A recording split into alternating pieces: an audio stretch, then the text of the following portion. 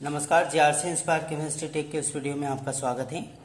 IIT एवं F block के तत्वों के अंतर्गत पुनः एक महत्वपूर्ण प्रश्न के साथ आगे बढ़ते प्रश्न इस प्रकार से हम पुनः रिवीजन कर रहे हैं। संक्रमण तत्व किन्हें कहते हैं? इन्हें कितनी श्रेणियों में बांटा गया है?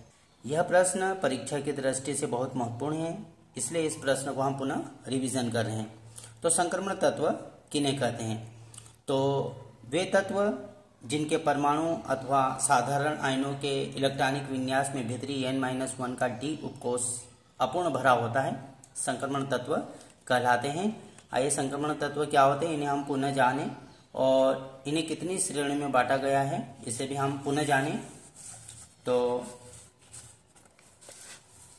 वे तत्व जिनके परमाणु अथवा साधारण आयनों के इलेक्ट्रॉनिक विन्यास में भीतरी एन माइनस वन के डी उपकोष अपूर्ण भरे होते हैं, संक्रमण तत्व कहलाते हैं। अथा संक्रमण तत्वों के दो उपकोष अपूर्ण होते हैं डी एवं एनएस बाहर का एनएस और डी उपकोष अपूर्ण होता है। तो हम कह सकते हैं, वे तत्व जिनके परमाणु अथवा साधारण आयनों के इलेक्ट्रॉनिक विन्यास में भीतरी एन माइनस वन का डी उपकोष अपूर्ण भरे होते हैं, संक्रमण तत्व कहलाते हैं। ये समूह दो से तेरह के मध्य स्थित होते हैं। अर्थात समूह तीन से लेकर बारह तक के जो तत्व होते हैं, संक्रमण तत्व कहलाते हैं। तो हम कह सकते हैं दो से तेरह के मध्य, अर्थात तीन से बारह तक के तत्व जो होते हैं, समूह तीन से लेकर बारह तक तक के जो तत्व होते हैं, संक्रमण तत्व कहलाते हैं। इसलिए हम कह सकते हैं ये समूह दो से तेरह के मध्य स्थित होते उदाहरण, आयरन, निकिल, कोबाल्ट इत्यादि संक्रमण तत्वों के उदाहरण हैं। वे तत्व पुनः कह सकते हैं, वे तत्व जिनके परमाणु अथवा साधारण आयनों के इलेक्ट्रॉनिक विन्यास में भीतरी एन माइनस वन का डी उपकोष अपूर्ण भरे होते हैं, संक्रमण तत्व कहलाते हैं। ये समूह दो से तेरह के मध्य स्थित होते हैं। उदाहरण, आयरन, निकिल और कोबाल्ट। आइए, आगे हम जाने, इन्हें कितनी श्रेणियों में बांटा गया है? पुनः रिवीजन करते हुए तो इन्हें चार श्रेणियों में बांटा गया है। आइए इन्हीं चार श्रेणियों पर चर्चा करते हैं। तो प्रथम संक्रमण श्रेणी, प्रमुख श्रेणियाँ इस प्रकार से। प्रथम संक्रमण श्रेणी अर्थात थ्री डी श्रेणी। थ्री डी श्रेणी अर्थात इन तत्वों में आने वाला अंतिम इलेक्ट्रॉन थ्री डी उपकोष में प्रवेश करता है, इसलिए इन्हें थ्री डी श्रेणी कहते हैं। तो यह श्रेणी स्टार्ट होती है यहाँ से। यह श्रेणी चतुर्थ आवर्त के स्केंडियम, स्कैंडियम एससी अर्थात परमाणु क्रमांक इक्कीस से प्रारंभ होकर जिंक झेडेन परमाणु क्रमांक तीस तक दस तत्व हैं। पुनः जाने प्रथम संक्रमण श्रेणी। यह श्रेणी चतुर्थ आवर्त के स्कैंडियम एससी से अर्थात परमाणु क्रमांक 21 से प्रारंभ होकर जिंक झेडेन परमाणु क्रमांक 30 तक जाती है और इस श्रेणी में 10 तत्व आते हैं। प्रथम संक्रमण श्रेणी के बारे में जाना। अब द्वितीय संक्रमण श्रेणी।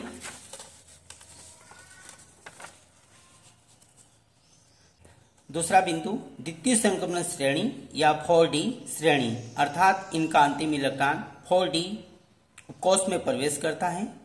इसलिए इन्हें फोर डी श्रेणी कहते हैं। यह श्रेणी पंचम आवर्त के इट्रियम इट्रियम अर्थात परमाणु क्रमांक उनचालीस से प्रारंभ होकर कैडमियम अर्थात सी डी परमाणु क्रमांक 48 तक जाती है और इस श्रेणी में 10 तत्व हैं।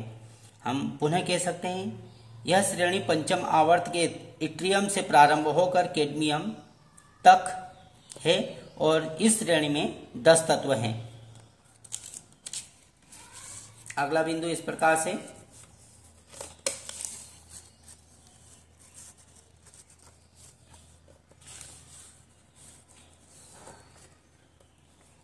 नेक्स्ट बिंदु। तृतीय संक्रमण श्रेणी या फाइव श्रेणी। इस श्रेणी में तत्वों में आने वाले अंतिम इलेक्ट्रॉन फाइव डी उपकोष में प्रवेश करते हैं।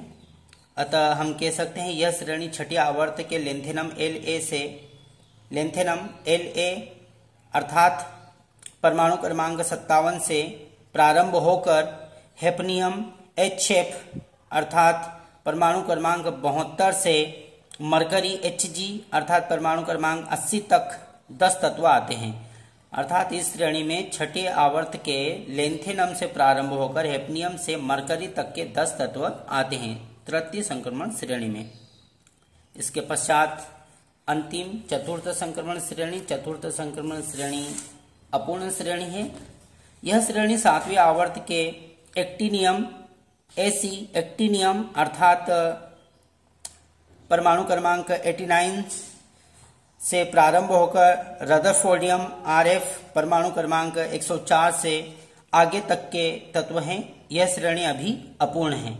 इस प्रकार से आज हमने संक्रमण तत्व क्या होते हैं, संक्रमण तत्वों को कितनी श्रेणियों में बांटा, इसके बारे में जाना। आई डी एवं एफ़ ब्लॉक के तत्वों के अंतर्गत पुनः एक महत्वपूर्ण प्रश्न के साथ आगे बढ़ते हैं। प्रश्न इस प्रकार से, संक्रमण तत्वों की प्रवृत्ति आखिरी होती है। क्यों? आइए इस महत्वपूर्ण प्रश्न को हम जानें। यदि आप इस चैनल पर नए हो तो चैनल को प्लीज़ सब्सक्राइब कीजिए। तो आइए इस महत्वपूर्ण प्रश्न को जानें। संक्रमण तत्वों की प्रवृत्ति आखिरी होती है। क्यों? तो संक्रमण तत्वों की प्रवृत्ति आखिरी होती है। इनके कई कारण हैं। आइए इन्हीं कारणों पर हम चर्चा करते हैं। तो पहला, इनके मानक इलेक्ट्रोड विभव का मान कम होता है। संक्रमण तत्व जो होते हैं, इनके मानक इलेक्ट्रोड विभव का मान कम होता है। दूसरा बिंदु इस प्रकार से, इनकी आयनन ऊर्जा उच्च होती है। संक्रमण तत्वों की आयनन ऊर्जा उच्च होती है, तथा इनकी वाष्पन या कणीकरण ऊर्जा का मान उच्च होता है। पुनः जाने, इनकी वाष्पन या कणीकरण ऊर्जा का मान उच्च होता है, तथा इनके आयनों की जल योजन ऊर्जा का मान कम होता है। पुनः जाने, इनके आयनों की जल योजन ऊर्जा का मान कम होता है इन्हीं सब कारणों की वजह से संक्रमण तत्वों की प्रवृत्ति अक्रिय होती है। संक्रमण तत्वों की प्रवृत्ति अक्रिय होती है।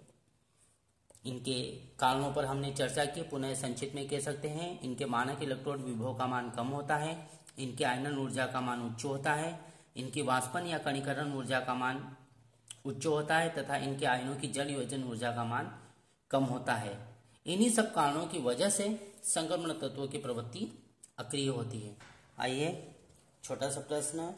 सिक्का धातुएँ किन्हें कहते हैं तथा इनके उपयोग लिखे, इस प्रश्न को हम जानेंगे। तो आइए जानते हैं सिक्का धातुएँ किन्हें कहते हैं। तो प्राचीन समय से कापर, गोल्ड और सिल्वर का उपयोग सिक्का बनाने में किया जाता था।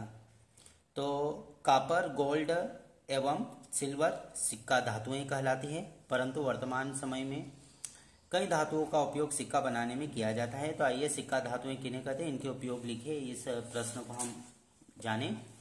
तो कापर, सिल्वर एवं गोल्ड, जिन्हें सिक्के या मुद्रा बनाने में प्रयुक्त किया जाता है, और प्राचीन समय से भी इन धातुओं का उपयोग सिक्का बनाने में किया जाता है, था। इसलिए इन धातुओं को सिक्का धातुएँ कहते हैं, अर्थात कापर, सिल्वर और गोल्ड सिक्का धातुएँ कहलाती है।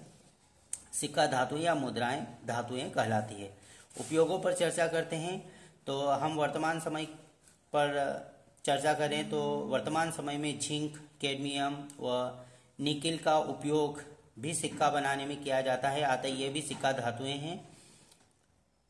परंतु प्राचीन समय से कापर, सिल्वर और गोल्ड का उपयोग किया जाता था, अतः इन तीन धातुओं, इन तीन महत्वपूर्ण धातुओं को सिक्का धातुएँ कहते हैं। परंतु वर्तमान समय में झिंक कैडमियम और निकिल का उपयोग भी सिक्का बनाने में प्रयुक्त किया जाता था, किया जाता है। किंतु वर्तमान समय में झिंक कैडमियम व निकिल का उपयोग भी सिक्का बनाने में किया जाता है। तो आइए उपयोगों पर चर्चा करते हैं। झिंक कैडमियम व निकिल का उपयोग बैटरी उद्योगों में, गोल्ड व सिल्वर का उपयोग आभूषण बनाने के लिए और ए का उपयोग अर्थात सिल्वर ब्रोमाइड का उपयोग फोटोग्राफी फ़िल्मों को बनाने के लिए किया जाता है। अर्थात फोटोग्राफी उद्योगों में ए अर्थात सिल्वर ब्रोमाइड का उपयोग फोटोग्राफी फ़िल्मों को बनाने में किया जाता है। इस प्रकार से सिक्का धातुओं के कई अन्य महत्वपूर्ण उपयोग हैं। Thank you